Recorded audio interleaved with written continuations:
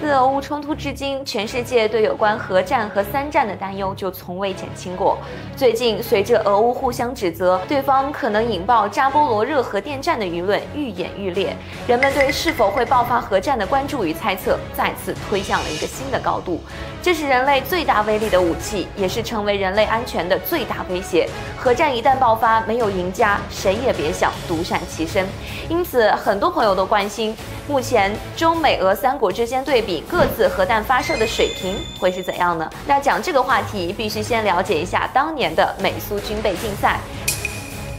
当时苏联拥有的核弹头数量多达几万枚，简直骇人听闻。要知道，这么多核弹头，简直是要炸翻地球的威力啊！当时苏联是憋着一股劲头，不管美国研发什么武器，苏联一定要拥有和其对标，甚至能与之同归于尽的战力才行。在这种疯狂的比拼之下，美国的军工武器也是急速增长。如果不加以控制，两个国家这样疯狂的军备竞赛，不知何时才能停止。于是，在苏联经济崩盘解体之后，美国才和俄罗斯达成协议，签署了关于限核的协定，双方都销毁了大量的核弹头，缩减到一个可控的理智些的数量。美国的核弹头在六千多枚，俄罗斯的核弹头呢是七千多枚。至此，美俄两个大国依然是世界上拥有核弹头数量最多的国家，双方保留的核弹头数量从比例上减少了很多，但是从最终的对等情况来看，依然是死死追平的制衡态势，相互之间的威胁程度依然是能够同归。于尽的程度，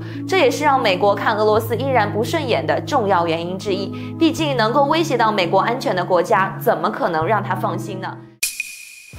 假设到了战时，拥有核弹头的国家发射核弹头的速度又是如何呢？不要以为核弹的发射是很缓慢的才能发射一枚，其实它的发射速度是令人难以置信的。而且这个发射能力也决定了一个国家核打击的威力和摧毁的力度。我们先来看看俄罗斯的核弹头发射水平。据不完全统计，俄罗斯目前一共服役了六种洲际导弹，比如知名的塞尔马特导弹，还有亚尔斯导弹等，平均每一枚洲际导弹能够。搭载六枚核弹头。据俄专家透露称，如果爆发核战争，俄罗斯火箭军能够在一分钟之内对敌方射出一千八百枚核弹头。作为洲际导弹，能够一次性发射这么多枚核弹头，杀伤力是非常凶猛的。而且导弹的射程呢，都是超过了一万两千公里，达到了恐怖的地步，能打击到美国本土，并且能让美国都无法拦截。而且让人不敢想象的是，一旦俄罗斯把这么多枚核弹头发射出去，地球真的就距离。毁灭不远了。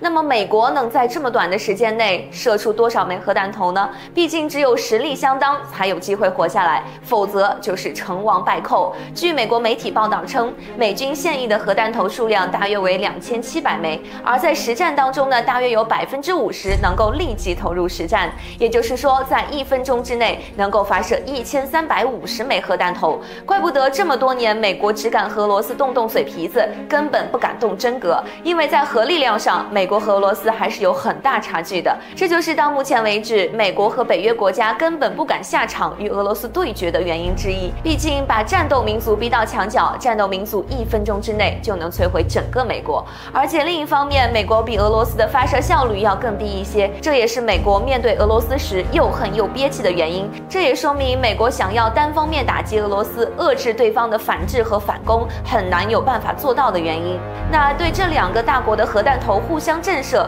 中国的核弹头发射水平到底如何呢？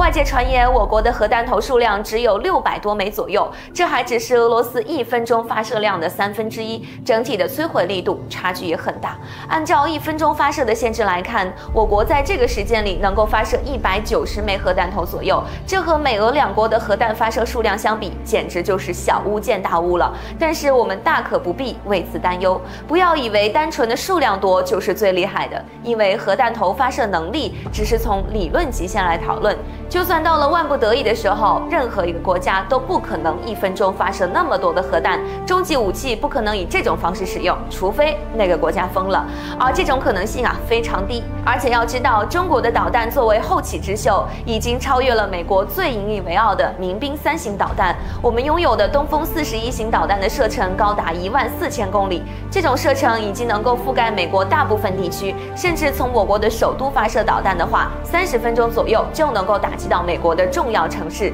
这种威胁让美国也感觉到自己头顶悬着利剑，开始忌惮中国。我国的东风系列导弹问世之后，很多型号都有着不同的打击优势，让美国都觉得非常头痛。比如难以拦截的时速为十马赫的东风十七，作为航母杀手的东风二十一 D 等等。现在的东风四十一型导弹更是被军民亲切地称为“东风快递”，不仅打击威力巨大，还有着非常迅疾的速度，能够快速达到锁定目标的位置，形成极强的打击威力。美国面对我国的导弹，曾经一度疯狂地组装拦截系统，把好几种拦截导弹都组装到一起，试图用打乱拳的方式能拦截到。但是美国到目前为止，公羊系统也好，萨德系统也罢，都无法拦截我国的东风风导弹。现在中国凭借护国神器东风快递，形成强大的国防防御网络，也凭借此建造坚固的国防盾牌，保护国家和人民的安全。从中美俄三国的导弹射程，能够看到三个军事大国的军工研发进程。